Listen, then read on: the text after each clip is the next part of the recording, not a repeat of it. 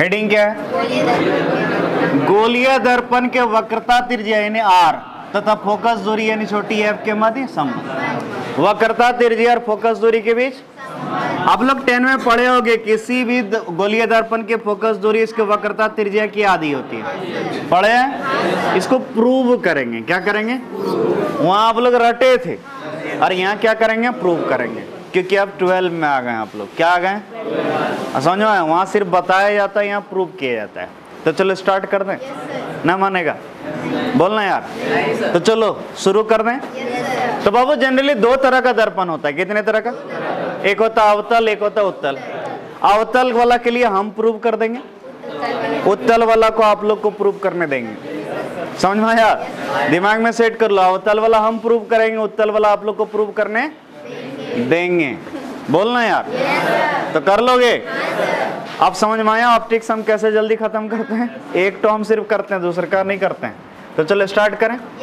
तो इसीलिए हम पहला कौन ले रहे हैं? तो देखो इसके लिए हम क्या किए? अवतल दर्पण माने?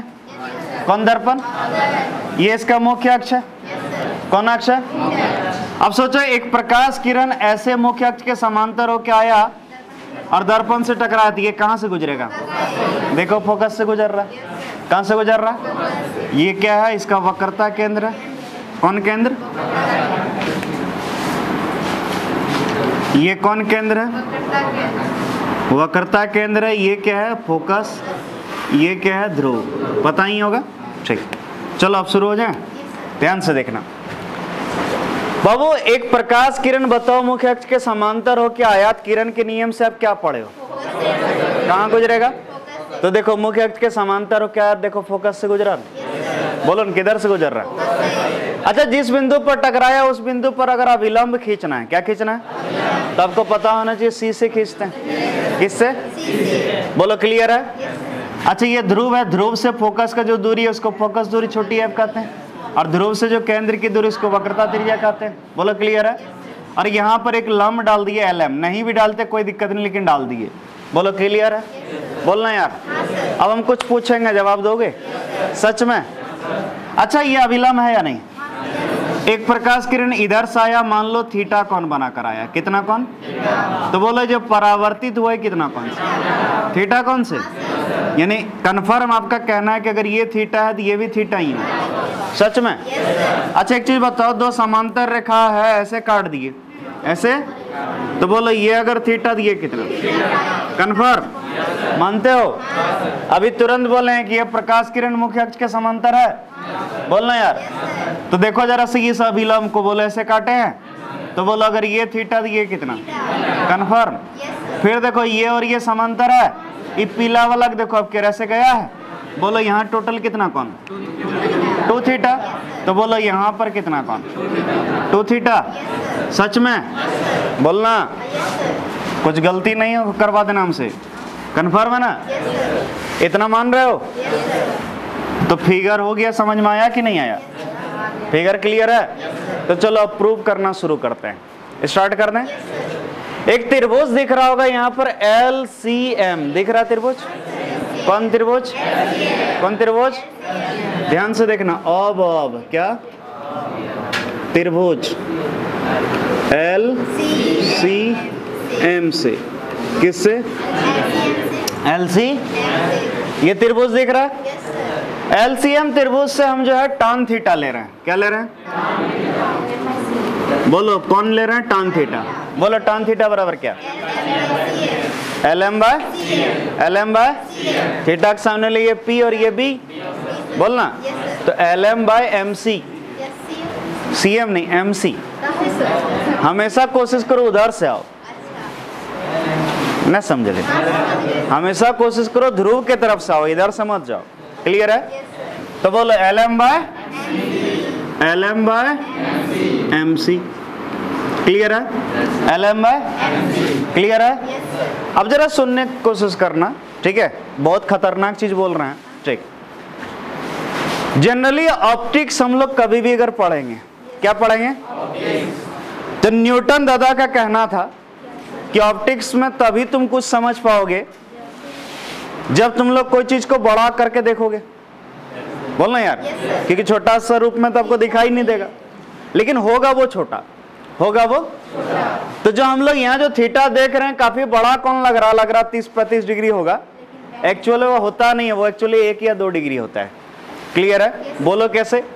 ये जो दर्पण हम बना रहे हैं, इस तरह के आपको गोलीय दर्पण देखिएगा अवतल दर्पण देख के लगेगा, समतल दर्पण। गारंटी देते हैं, देखना क्या लगेगा? तो सोचो जरा सा क्या लगेगा? समतल दर्पण, लेकिन है कैसा? क्योंकि वो बहुत बड़े टुकड़ा होता है गोले का। अब इमेजिन करो, ये है। तो सोचो जरा सा, इसका वक्रता केंद्र ये है फोकस ये है, और प्रकाश किरण देखो, ज़्यादा ऊपर से थोड़ा ऐसे करके आया। अब इमेजिन करो, ये प्रकाश आया तो ये ऐसे जाएगा फोकस ठीक है? अब इमेजिन करो, ये मुख्य अक्ष के समांतर होके गया, ये कहाँ से जाएगा फोकस से? अब सोचो जरा सा, ये जो कौन बनेगा, कितना छोटा छोटा बनेगा? क्लियर है? तो याद रखिएगा ऑप्टिक्स में न्यूटन का कहना था कि जितना भी कौन होगा, सब कौन को मानिएगा, वो छोटा कौन है। क्या है? दिमाग में सेट हुआ? क्या लेना है? तो ये थीटा क्या बड़ा है या बहुत छोटा है? जनरली एक या दो डिग्री है। कितना? उससे भी छोटा मान सकते हो। क्लियर है? आ रहा समझ में? दिमाग में सेट कर लो जो भी कौन हम लोग ऑप्टिक्स में लेंगे उसको क्या मानेंगे? छोटा कौन। क्या मानेंगे? और जब कौन का मान बहुत छोटा हो तो याद रखना साइन थीटा रहे। कौन थीटा या टेन थीटा रहे तो उसको हम लोग सिर्फ़ थीटा मान लेंगे। क्या मान लेंगे? दिमाग में सेट हुआ? साइन थीटा या टेन थीटा को हम क्या बोलेंगे? लेकिन अगर कॉस थीटा रहे तो उसका वैल्यू वन मान लेंगे। ठीक है लगभग ज़ीरो के बराबर। और कॉस ज़ीरो वैल्यू वन होता है। दिमाग में सेट हुआ? लेकिन याद रखना साइन थीटा या टेन थीटा का वैल्यू अगर बहुत कम रहे, जो थीटा है उसी को बराबर मान लेना है। बोलो क्लियर है? आ रहा समझ में मेरे बात?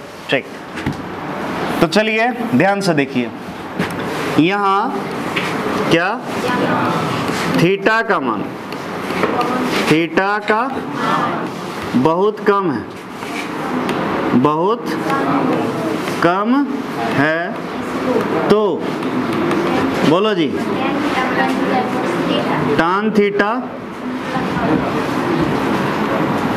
टान थीटा लगभग बराबर? इसीलिए बोलिए टान थीटा ले या थीटा बोलो। एल एम बाय समीकरण? कोई दिक्कत? इसी प्रकार, इसी त्रिभुज। क्या? एक देखो, त्रिभुज एल एफ़ एम दिख रहा होगा। क्या दिख रहा होगा? दिख रहा? त्रिभुज एल एफ़ एम से। कौन त्रिभुज से? बोलो, यहाँ टर्न टू थीटा निकाल रहे हैं। टर्न बोलो, कितना? L M by M F L M by L M by क्या सही है? बोलना यार। चूँकि, बोलो टर्न टू थीटा बराबर लगभग टू थीटा क्यों समझ ही रहे हो? क्लियर है? इसीलिए बोलो टर्न टू थीटा लिखें या टू थीटा बराबर क्या? एल एम बाय बोलो क्लियर है? तो थीटा बराबर टू इधर ले जाएँगे। तो थीटा बराबर L M by two M F बोलना यार। तो बोलो थीटा बराबर L M by two M F समीकरण दो। समीकरण? अब जरा समीकरण एक का एल एच एस देखो। और समीकरण दो का एल एच एस देखो। और जब एल एच एस बराबर तो आरएचएस भी। तो हम लिखे समीकरण एक तथा दो से। समीकरण एक तथा दो से। तो जब एल एच एस बराबर है तो आर एच एस बराबर होगा। तो समीकरण एक का L H R H S क्या L M by L M by सही है? एल एम बाय बराबर क्या? एल एम बाय अगर थोड़ा बहुत भी समझदार है तो एल एम एल एम चल जाएगा। तो बोलो एम सी बराबर कितना? टू एम एफ़ बोलो नहीं यार। क्लियर है? एम सी बराबर? सही है? कन्फर्म परंतु, क्या? अच्छा बताओ एम सी क्या? अब जरा समझना ध्यान से एम से सी का बात करें या पी से सी तक का बात करें बात तो बराबर है। क्योंकि ये इतना छोटा गैप है सिर्फ़ लंब लगे त्रिभुज जैसा लगे इसीलिए लिए। नहीं भी लेते तो आपको क्या वास्तव में देख के लगता है कोई अवतल दर्पण अवतल दर्पण? लगेगा क्या समतल? यानी ये सीधा ही दिखता है। तो इसीलिए ये जो गैप है बहुत कम रहता है। ये गैप बहुत क्लियर है? आ रहा समझ में? तो दिमाग में सेट कर लो एम से सी का दूरी बोले या पी से बात बराबर है। बात? तो बोलो एम सी लगभग बराबर किसके? पीसी के। एम सी लगभग? और पीसी का वैल्यू कितना? है पीसी का वैल्यू बोलो पीसी का वैल्यू माइनस आर प्रकाश इधर जा रहा है। हम इधर आए। उल्टा गए ना? तो इसीलिए? बाबू, ये प्लस माइनस का ध्यान देना, नहीं तो न्यूमेरिकल समय बहुत गलती होगा। ठीक। तथा क्या? बोलो एम एफ़ क्या?